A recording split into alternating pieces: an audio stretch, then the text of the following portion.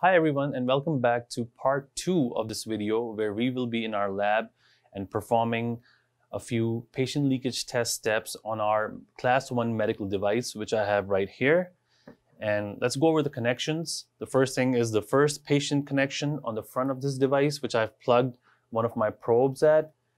On the rear panel I have another patient connection where I've connected my second probe and the device's line cord is plugged in to its line input, and the other end of that line cord is plugged into the adapter box of our leakage current tester. I have already programmed two patient leakage tests into our leakage current device, and the first step is for a single patient connection. So we'll make sure that the current flowing from one patient connection to ground is measured properly. And in the second step, we will be testing between two patient connections, measuring the current that can flow from one patient connection to the other. So with that said, let's take a look at our test parameters. And the first parameter is the leakage high value, which is the maximum allowable leakage current per the IEC 60601 test standard. The next two values are the voltage high and the voltage low.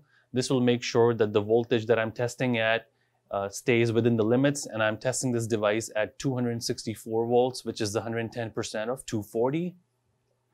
I have a test dwell time of one seconds, uh, delay time of two seconds, and then I have an open ground fault condition that I'm going to simulate in this test.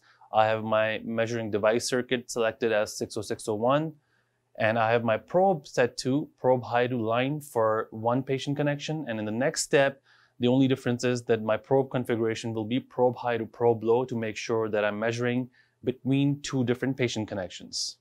So let's run this test and see what type of results we get.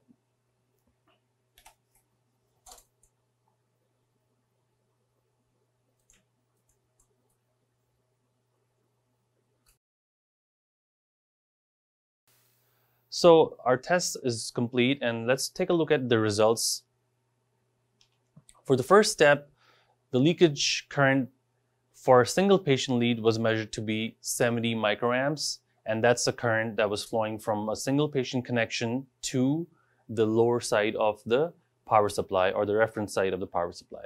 For the second step, where we were measuring current leakage current between two patient leads, it turned out to be about seven and a half microamps, and that's the current that was flowing from one patient connection to the other while the device was running.